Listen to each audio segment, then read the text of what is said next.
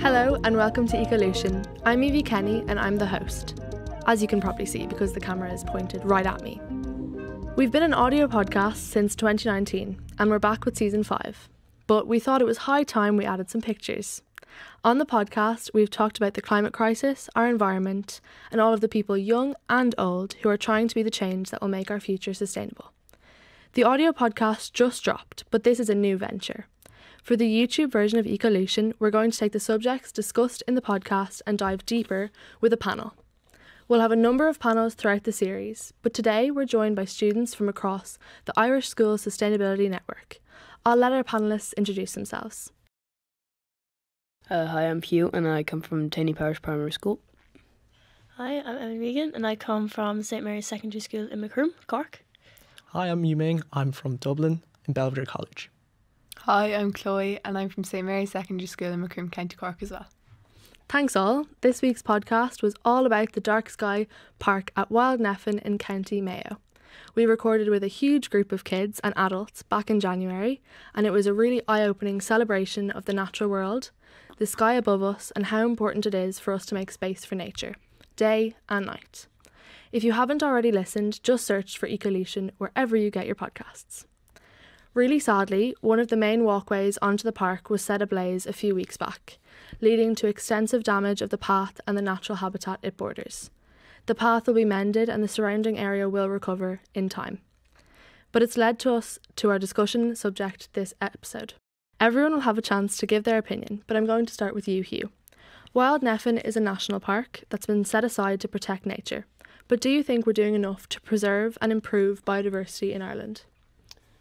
I think that maybe Ireland is doing a lot, yeah, but we could still definitely be doing more. There's a lot of things like um, on mountains we have lots of heat there and now thanks to all the like radio station satellite tower things i don't know what they're called really but um, they're there and they're like chained up and disturbing the animals homes and i think uh, maybe move them a bit downwards the mountain Yeah. Yep. And Emily, I'm going to come to you next. You and Chloe are based in West Cork. What's been your experience there? Um, well, I definitely think in West Cork we have this shared just appreciation for our nature and our biodiversity because it's so beautiful. Um, but I don't think people know a lot about what they can do. So I think even just within like communities, you know, tidy towns or anything like we have special protection areas and they're made known. But I think just telling people, you know, you can do these things, these small little things that can help biodiversity, you know, not throwing your plastic on the side of the road or going to the return schemes and stuff like that. So yeah, just like letting people know what they can do, you know. Yeah, and Chloe? I definitely like. I think there's so many areas in West Cork anyway of just like beauty. Like we have the Gearagh, we've Gougane Barra, and then you go down to the coast and we've all the areas there. So I think people are aware when those are in front of them of how gorgeous they are, and I think it's really like sometimes we take them for granted, but I think having the community organisations around the place that you can get involved with or in schools and they're taking trips there to those areas, you become more aware and then you feel like, oh yeah, I can do something to help the biodiversity in this area. So Yeah, and a completely different perspective. Yuming you're based in Dublin and you go to school in the inner city. What do you think are good and bad practices you see in the capital?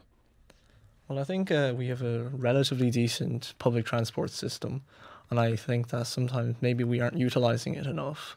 Like, there's still a lot of people driving into work, and I can understand that they're going from further away. But uh, instead of congesting the city, maybe they could do park and rides instead. That would be the one thing I'd improve. Other than that, I think we're doing really well in terms of like you know having small spaces on the sidewalks where like you know the gardens are managed for wildlife, which means like you know it's good for the pollinators. So I think overall we're doing quite good. Yeah. Very interesting. So that neatly leads me into the next question. I'll come to you, Chloe. Do you feel that there's a misunderstanding between urban and rural areas in how we handle biodiversity? Um, sometimes I think it can feel for people living in rural areas, especially like farmers, that they're kind of being attacked maybe by the government, by the big urban areas, and that these people don't really know what's going on in rural areas and in agriculture. But I think uh, in recent years anyway, I think there's become like a common acceptance and a common like shared goal. They've come to realise that there's a goal there and they're working towards it together. So like one really good initiative is the grants for farmers to build more or to improve forestry in their area and to grow more trees. And I know myself, like my grandfather, we've planted trees in his land, um, and it's a great day out, and we really enjoyed it. But it's also, you know, you you know you're doing something for the environment, and there's a lot of groups there that help with those efforts. So I think it's good now to see a mix between urban and rural initiatives, and that they connect better. Amazing. And Emily, West Cork is a place known for its natural beauty. It's home to some of the last wild places in the country. And as you mentioned earlier on, you do think that the people appreciate that beauty. Do you feel that that biodiversity is well handled by the people who live and work there? Um, for what I can see, yeah, like in my town, Macroom, we all really do respect any initiatives that the tidy towns put up because we appreciate it. Um, but I do think though is that there can be that bit of disconnect between like the likes of Macroom or like the coast and anything from like Cork City Centre. Um, you know, like it could, they're just two completely different areas, and you know you travel 20 minutes out the road from Cork and you see completely different place, you know.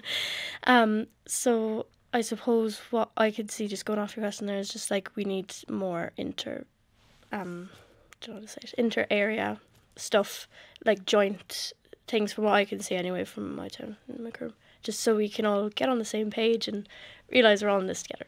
Yeah. Hugh, you're from Dublin and you live close to the capital. What's your view? Is there a town and country divide in how to handle nature? I think all of Ireland really kind of agrees. We, I think everywhere there's a similar method. I think it's all really helpful to have we ch- uh, ch- try and fight bio- biodiversity loss. I think it's all really helpful all around Ireland. All really the same. So yeah. Yeah. Yeah. And Yuming, that, that same question, do you feel that there's a divide in how towns and countries, countryside handle this? Yeah, because uh, I've actually got Tommy, and he's from Meath, and you know, what he sees about climate change, what I see about climate change is really different, because he's from the countryside, obviously, and like, so I think maybe if we can get a more connected going, like as like Emily said, I think it'd be much more beneficial. So we need more inter-county uh, collaborations is what I'm hearing. So we really like to highlight potential solutions on ecolution. It's almost in the title. One solution that's been written already is the Nature Restoration Law. EU member states have committed to restoring at least 20% of land and sea areas by 2030 and all ecosystems in need of restoration by 2050. So, what do you think? Is widespread nature restoration and rewilding something you feel could work in Ireland? Hugh, I'll come to you first. I think it would work. I think helping with the environment, help doing all that, that would be very helpful. Yeah. Yeah, and, and do you think it's something that, that we could do as as a community? Yeah, I think we could. Yeah? We can manage that. we can manage it, just about. We can manage, manage Kerry Goldbladder. We can manage this. Emily, what are your thoughts? Is it something that you could see happening in Macroom? Yeah, I could see it happening. Um, not just in Macroom and the whole of Ireland, I suppose. Like, I think bit by bit, if we get there, but I think you know the whole community needs to be involved in it.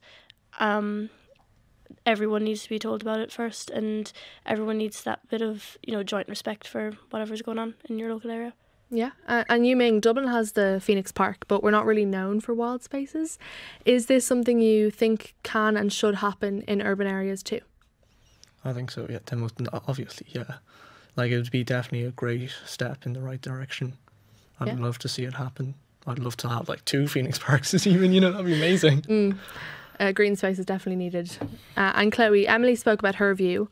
Do you look at this in any way differently? How likely are you that restoration or rewilding will happen? I actually think Ireland is like the perfect location for the EU's restoration plan. I think we've seen in recent years the impact rewilding has had on the nature and the environment in Ireland.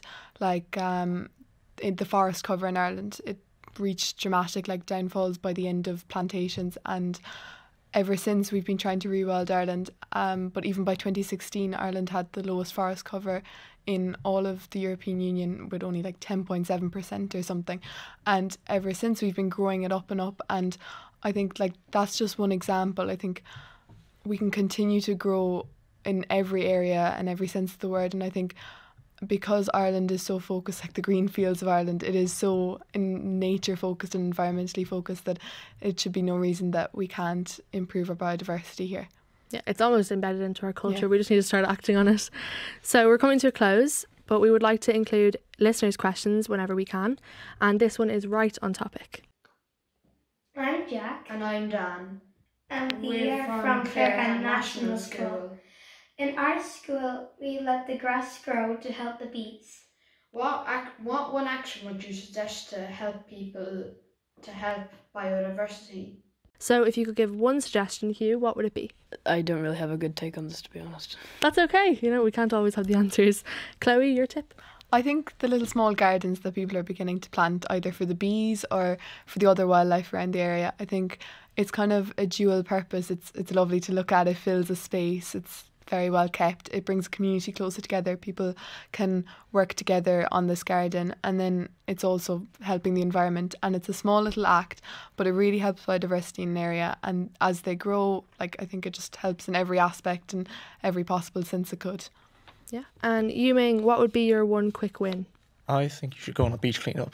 If, if you don't have a beach near you, maybe just like a city or a park cleanup. Like whether you believe in climate change or not, I think we would all love a clean space to just hang out in. You know, instead of seeing trash on the road, you go pick that up, and suddenly the next time the next person's there and it's clean again, and they'd be, I think they'd be happier. 100%. That's such a good point. And Emily, if someone didn't have a garden or a similar space, what should they do? Um, I think just a very easy thing to do is just be respectful. Um, you know, don't go shoving your friends into the ditch on the way home from school. Just stuff like that. You know, like if you see a habitat out, like everything is a habitat, like side of the road, hedges, all that kind of stuff, or you see animals, you know, birds, just leave them be. Um, don't try to aggravate them. Don't be throwing your rubbish into it. Just be respectful, leave them be, mind your business, and they'll mind their business and flourish. So yeah. Such good tips. I'm going to start taking them all in. I think my suggestion would just be that, as Emily said earlier on, appreciating nature is such an easy thing to do and just have a look around you and realize that the world we live in is not permanent and we need to really look after it. So, guys, I cannot thank you enough for being a part of our first episode on YouTube. We'll meet again. The plan is that we'll drop a new episode of the show each week to line up with the pod, which again you can find wherever you get your podcasts. Follow and give us a review if you can. It really helps us raise the profile of these issues. If you have thoughts you'd like to discuss or your own action for biodiversity you'd like to share, get in touch at the email below junior at rte.ie. See you next time.